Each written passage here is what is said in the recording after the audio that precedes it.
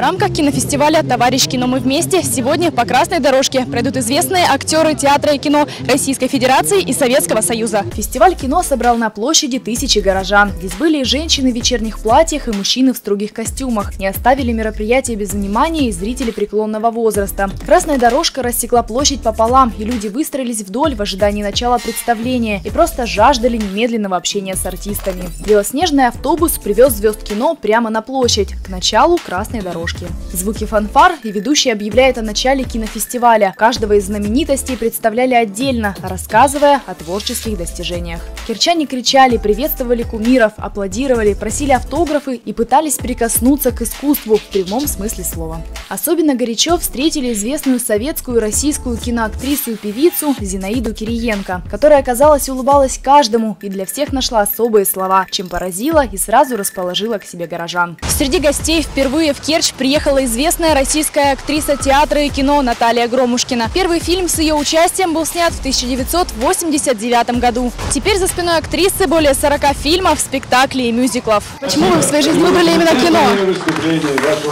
Сложно сказать вот так вот в двух словах. Наверное, это мое призвание. Есть самый любимый фильм, в котором вы играли?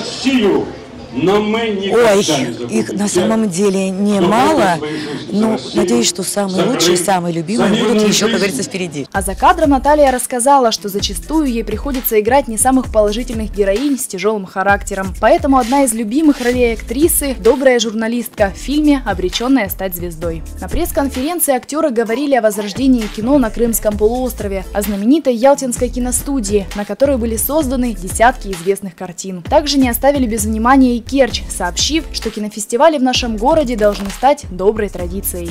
Мы могли бы вместе с городом организовать и проводить здесь международный кинофестиваль «Синемарина» стран Черного и Средиземного моря. Сегодня мы становимся воротами Крыма, воротами, которые соединяют нас э, с Россией, с материком. Поэтому привлечение сюда фестиваля, я думаю, даст дополнительный толчок развитию культурной жизни и процветанию города.